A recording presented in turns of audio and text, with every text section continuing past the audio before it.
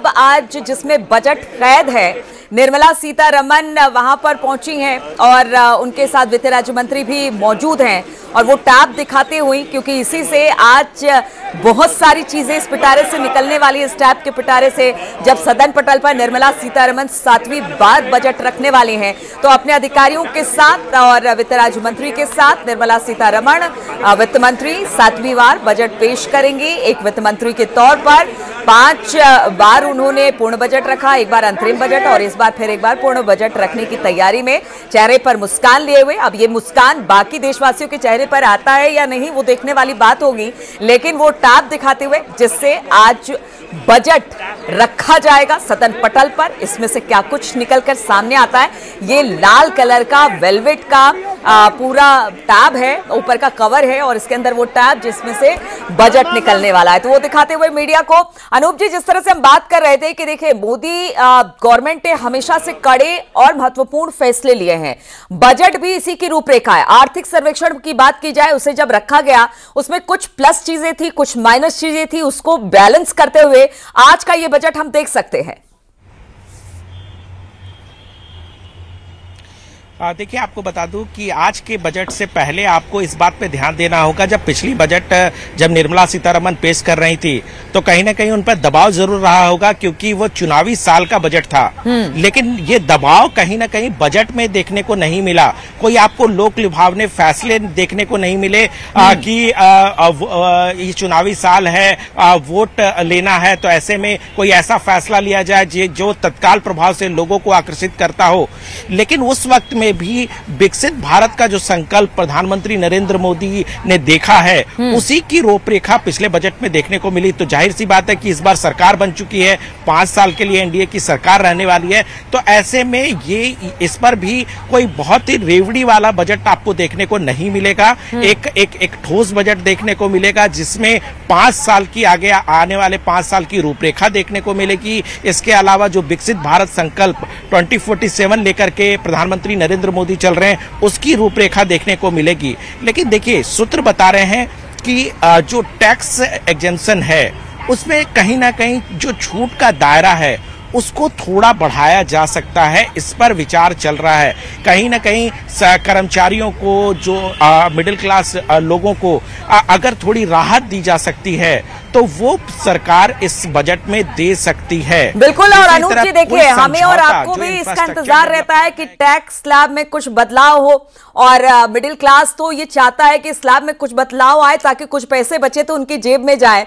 और जब वो टैब दिखा रही थी जिसमें बजट था तो निर्मला सीतारमण के चेहरे पर एक मुस्कान थी और हम भी मान के चले कि शायद ये मुस्कान आज हमारे और आपके चेहरे पर भी आए।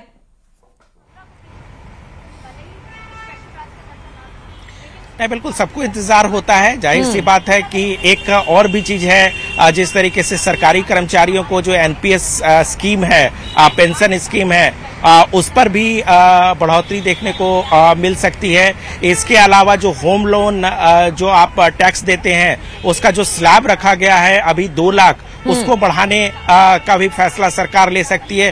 क्योंकि देखिए अर्थव्यवस्था अभी पटरी में है। हम्म। तो ऐसे में सरकार लोगों को जितना राहत दे सकती है जितना संभव है उतना राहत देने में किसी तरह की कोताही जो है वो सरकार की तरफ़ से नहीं की जाएगी।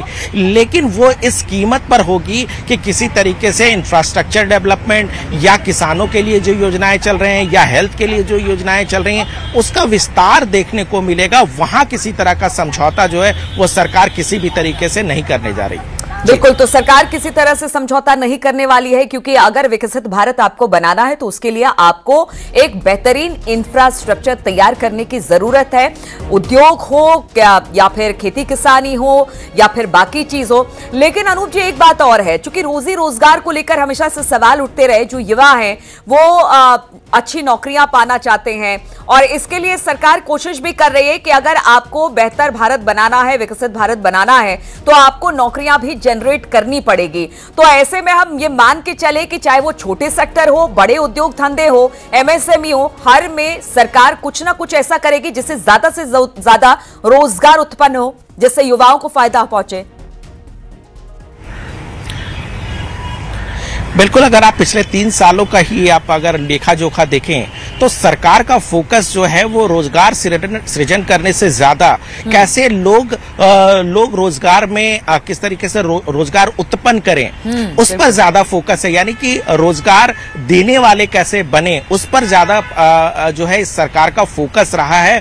तो ऐसे में इंफ्रास्ट्रक्चर डेवलपमेंट और तमाम चीज़ों चीज़ों को कर करके रोज़गार का कैसे सृजन किया जाएगा इस पर ज़रूर इस आ, इस बजट में भी फोकस रहने वाला है। और हमने देखा है कि पिछले पाँच साल में जिस तरीके से इंडस्ट्री को बढ़ाने के लिए लगातार आ, सरकार जो है वो काम कर रही है जिस तरह से उन्होंने इंसेंटिव स्कीम आ, वो लेकर के आए कि कहीं ना कहीं छोटे रोज़गार जो है बढ़कर सामने आए। तो ये तमाम चीज़ें जो है आपको इस बजट पे देखने को मिलेगी। हम्म, बिल्कुल। और अगर मैन्युफैक्चरिंग सेंटर की बात की जाए जो कि बात हो रही थी कि देखिए आप खुद रोज़गार देने वाले बनिए। प्रधानमंत्री ने भी इसका कई बार ज़िक्र किया है आ, अनूप जी, और उन्होंने कहा कि देखिए एंटरप्रेन्योरशिप हो या फिर स्टार्टअप इंडिया हो, इस तरह के बहुत सारे विजनरी आइडियाज़ मोदी सरकार की तरफ़ से दिए गए। तो ऐसे में हम ये मान के चले कि जो मैन्युफैक्चरिंग सेंटर है या सेक्टर है, उस पर ज़ोर रहेगा फोकस रहेगा, ताकि इस तरह से रोज़गार परक संभावनाएँ आगे आने वाले दिनों में भारत में देखने को मिले, लोग अपने पैरों पर खुद खड़े हो पाए, और जो एक चाइना की इकोनॉमी से हमेशा भारत की इकोनॉमी कहीं ना कहीं रिलेट करती है तो वैसी इकोनॉमी बनने की दिशा में हम आगे बढ़ते हुए अपने आप को देख पाएँगे इस बजट में देखिए आपको एक बात बताऊँ कि सरकार इस बात को जानती है कि भारत में मैन पावर जो है वो बहुत ज़्यादा है हम्म। तो ऐसे में कहीं ना कहीं अगर एफडीआई को और आकर्षित किया जाता है तो रोज़गार अपने आप सृजित होती है जिस हम्म। तरीके से पिछले हमने 10 सालों में देखा कि सरकार ने एक तरह से फ्लैक्सिबिलिटी दिखाई है इस किस तरीके से वहाँ के जो कंपनी है उसको आकर्षित किया है हम्म। तो एक तरह से जिस बात का ज़िक्र हम लोग कर रहे थे कि लोग किस तरीके से रो, रोज़गार सृजित करें हम्म। लोगों को ज़्यादा से ज़्यादा रोज़गार मिले देखिए विपक्ष लगातार ज़रूर इस बात को लेकर के ज़रूर सवाल खड़े आ, खड़ा करती रही है कि आ, इस सरकार में रोज़गार सृजन नहीं हो रहा है लेकिन जिस तरीके से तमाम विदेशी कंपनियाँ भारत में आई है हम्म। ये भारत की पॉलिसी केंद्र सरकार की पॉलिसी रही है एक फ्लैक्सिबिलिटी रही है जिसकी वजह से लगातार एफडीआई आकर्षित हो रही है लगातार कंपनीज़ यहाँ पर आ रहे हैं जिसकी। वजह से रोज़गार बहुत बढ़ा है। रोज़गार के साधन बढ़े हैं और देखिए जब एक कंपनी देश में आती है तो कई तरह की सब्सिडीज सब्सिडियरीज जो व्यवस्थाएँ हैं रोज़गार हैं वो भी सृजित होती है देश हम्म, में हम्म। जिसका सीधे फ़ायदा जो है वो यंग जनरेशन को मिलता है हम्म। इस पर सरकार की सरकार का जो फोकस है वो लगातार रहा है और आप ठीक है तो अनूप जी देखना होगा कि आज जब बजट सदन पटल पर रखा जाता है वित्त मंत्री निर्मला सीतारमन के द्वारा तो किससे किसको कितना फ़ायदा होता है? इस पर आज